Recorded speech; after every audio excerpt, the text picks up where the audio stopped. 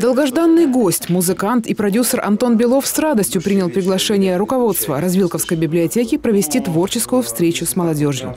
Добившийся значительных успехов в шоу-бизнесе, кто как не он является для подрастающего поколения путеводной звездой, человеком, пример которого вдохновляет на подвиги и движение вперед.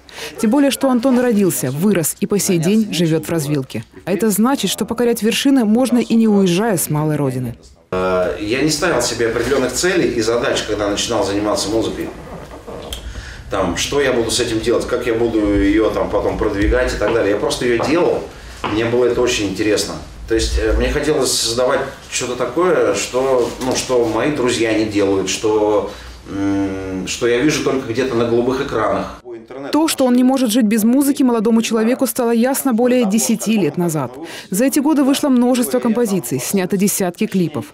Антон в одном лице исполнитель, автор слов и музыки. На встрече ребята увидели одну из последних работ музыканта.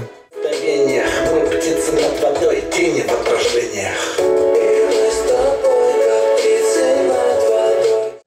А недавно в жизнь Антона ворвалось кино, и старт оказался очень успешным. В эти дни в широкий прокат выходит фильм «Все или ничего», в котором снялись такие звезды, как Сергей Бурунов, Юрий Стоянов, Артур Смоленинов.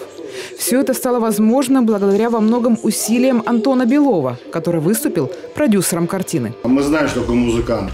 А что такое продюсер? Ребята должны знать. Каждый человек продюсер своей собственной жизни. То есть кто это такой? Это человек, который э, ну, вот отвечает за все полностью. И он нанимает режиссера, э, они вместе там садятся, думают, какую историю им там э, снять, создать. Э, нанимают сценаристов, э, в общем, э, согласовывает сценарий, потом организовывает весь съемочный процесс. Ну, конечно, одному это не сделать, то есть он подключает э, множество людей, э, множество сотрудников. А, а, ну, обычно, если кино, то на съемочной площадке это где-то минимум 50 человек. Тема кинопроизводства вызвала у всех большой интерес. Антон раскрыл некоторые секреты индустрии, поделился забавными историями, происходившими во время съемок.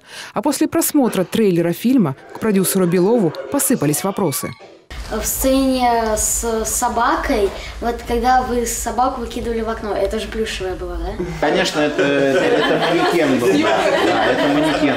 Нет, ну это... вдруг собака, собака Нет, нет, то есть э, собака настоящая была по ходу съемок, как она бегала и за ними там э, лаяла на них, а выкинули они, конечно же, манекен.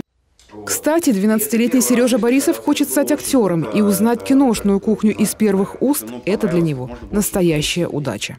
Я раньше думал, что надо иметь какие-то связи, э, иметь какие-то черты характера, но оказывается, можно просто захотеть этого и стать. Э, его пример показывает, что э, человек, если захочет, может добиться чего хочет.